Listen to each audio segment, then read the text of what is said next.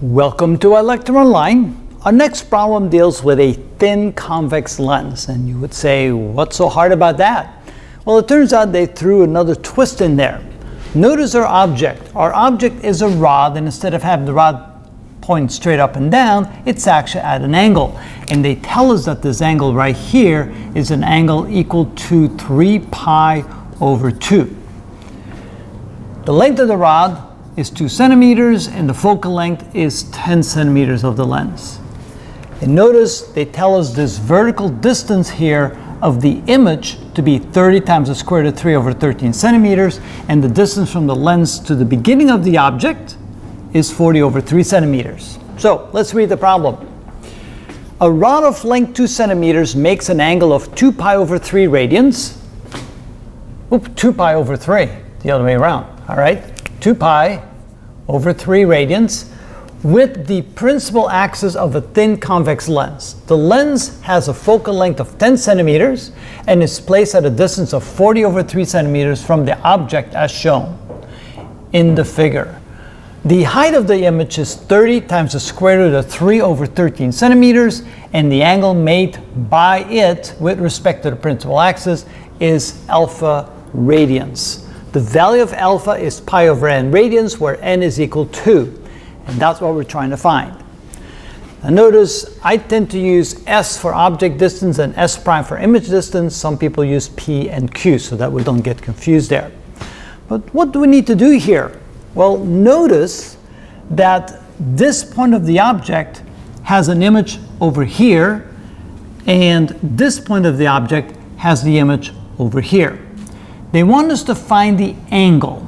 And notice that we know the opposite side of this triangle, so we need to find the adjacent side. So here, this here is the adjacent side. So it all comes down to finding the adjacent side. If you realize that that's it, because once you have the adjacent side and you are given the opposite side, you can find the angle by using the inverse tangent. So how do we find the adjacent side? Well, first of all, we can find this point right here because that's the image point of the tip, and we can find this point right here because that's the image point of the bottom of the rod right here. So if this here is the object distance, I'll call it S1, then this here is the corresponding image distance, S1 prime. And the end of the rod right here, this distance well, we'll call that S2. That's the object distance to the end of the rod. And then over here, this would be the corresponding distance. Let's call that S2 prime, or that's the corresponding image distance. But we need to know what this distance is. Now, this is 2 centimeters in length. This angle here is 120 degrees. That means this angle here is 60 degrees. And there's the adjacent side.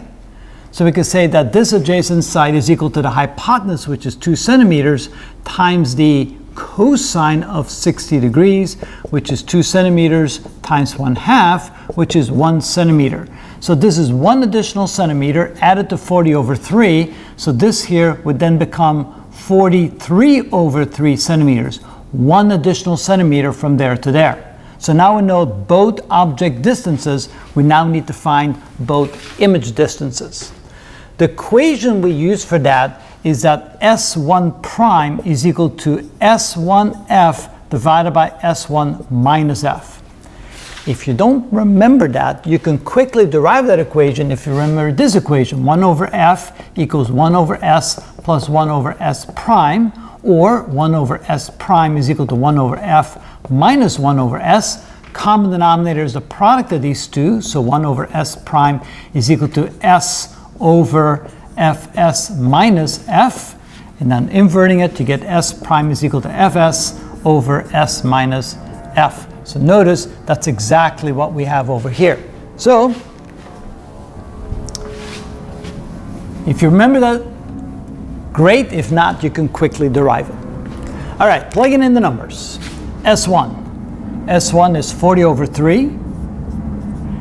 The focal length is 10. Over here, S1 is 40 over 3 minus 10. So this would be 400 over 3 divided by, this would be 40 over 3 minus 30 over uh, 3, yes. And so that would be equal to 400 over 3 divided by 10 over 3. The 3's cancel out, and this is 40 centimeters. And we have a little kitty cat right here. Meet the new member of our family, and she's playing with the wires right there by my feet. All right. Okay, so now we have S1 prime, which is this distance right here. Now we need to find this distance, S2 prime, because that allows us to find the difference between the two, which is the adjacent side. All right. So S2 prime is equal to, go, uh, S2 F divided by S2 minus F. So in this case, S2 is now going to be 43 over 3 times 10 divided by S2, which is 43 over 3 minus 10, which is equal to 430 over 3 divided by, that's 43 over 3 minus 30 over 3, which is equal to 430 over 3 divided by 13 over 3. Notice the 3's cancel out, and so we're left with 430, should be a 3, over 13. All right.